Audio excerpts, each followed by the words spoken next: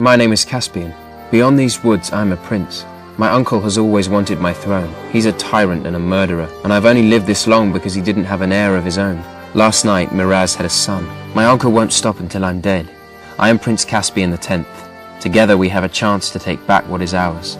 Read Caspian's story in the novel The Chronicles of Narnia Prince Caspian by C.S. Lewis. For other great book ideas, visit your local library or log on to www.literacy.gov. Brought to you by the Library of Congress and the Ad Council.